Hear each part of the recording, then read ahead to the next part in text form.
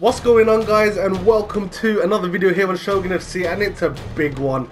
Probably the best agent of the year, bar none. We're talking 100% black balls. Like, where has this been all year for me? Like I've been struggling getting dead players after dead players on stream and on YouTube and it's it's been upsetting. I mean, I've been I've been looking like a mug out here trying to get these big players while everyone else out me is out here getting Robben, getting Messi. Like, do you know how long I was happy with Quagliarella for? Like, what?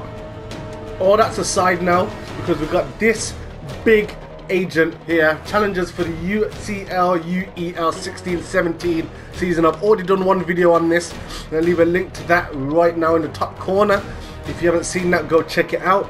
But um, this time now, we're just going to go straight in with the opening. We don't have to play for these. We're just going straight in. And uh, hopefully we can get some big boy players. Let's go. Let's have some good players off the bat. We're guaranteed black balls. So um, I'll pretty much be happy with almost everything. We want to try and get some rolls as well. Um, I've released some of my loan players to make sure I get good ones. And um, unlikely to ever see him again in an Arsenal shirt. But we do have Samir Nasri, who is actually, as much as it hurts me to say, a very, very good player on this game. Um, insane dribbler. And um, despite the fact that he's a bit of an arse, it's, that's a pretty good start to things, really. Samir Nasri, 85 rated, 90 dribbling, 86 low pass, 82 lofted pass. Um, and, you know, decent speed, good ball control as well.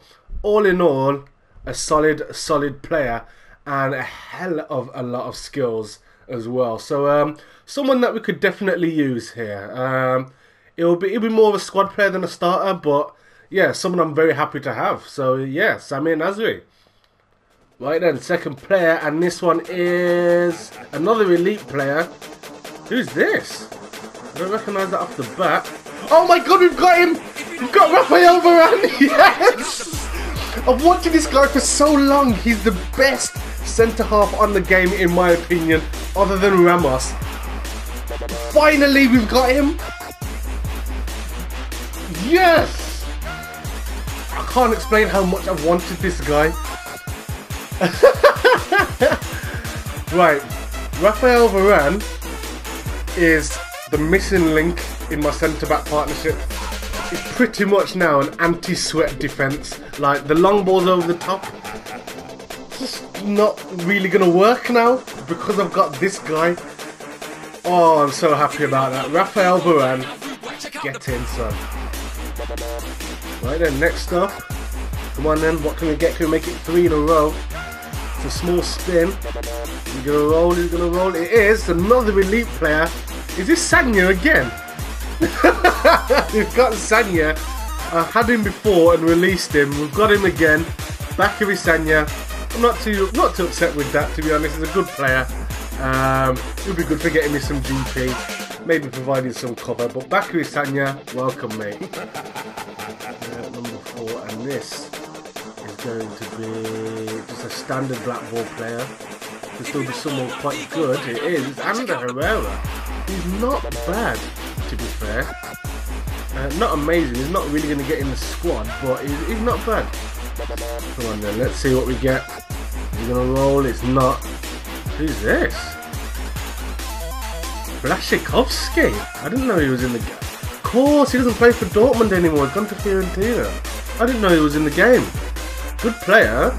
Um, he's got a weird card, he's got the whole player card, which I don't think he can use in those in his main positions. But um, someone who's incredibly quick. And uh, he's got the captaincy trait as well, that's good. Okay. Decent player, decent player. Right then, I think this is like number six, I think. So uh, can we get another elite player? Let's have a look. Is he going to roll it? He's not. Who's this? Okay, Borja Valero, someone that um, I'm quite fond of. I bought him on an old football manager game, and he was just absolutely incredible. Um, not as good anymore, but uh, he's getting on a bit, but still a very, very decent player. So um, yeah, I'm happy to have him. Right, ball number seven. What's this going to be? Come on, it's got a roll. No, it's not a roller. Okay, but uh, who is it? We've managed to pick ourselves up David Santon, who is probably the worst player we're going to get today.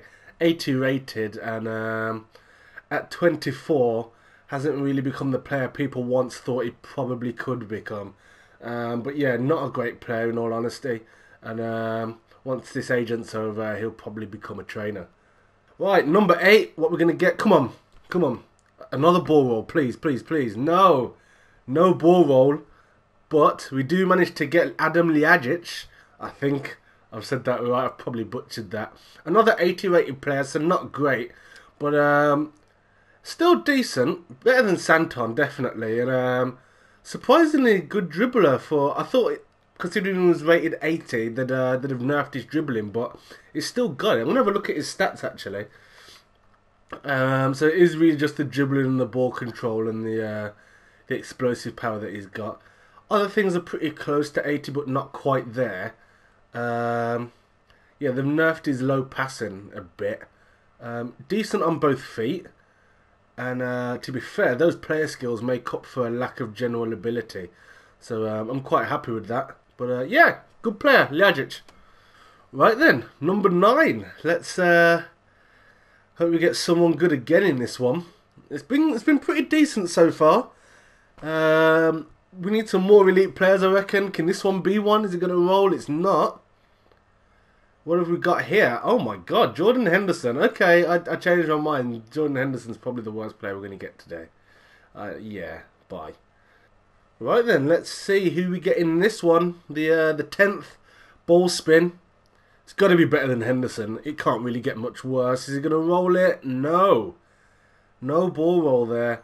And uh, we get Jonathan Biabiany, who's someone I've had before. Again, very quick, but other than that, not particularly great. Right then, 11 is my lucky number. Can it be lucky this time? It's a small spin, but it could be a big player. Can we get a ball roll, please? No, we can't. And, uh... Yeah, they really are just out to prove me wrong and give me worse and worse players each time. Roberto Soldado really, really isn't going to cut the mustard here. I was hoping to end it on um, Soldado, well, on the 11th one, but I'm not going to finish a video on Soldado. I refuse, quite frankly. Um, come on, this one's got to be better. Number 12. Can we get a ball roll? No, we can't. Just give me another 80 rated player. 81, okay. Not as bad.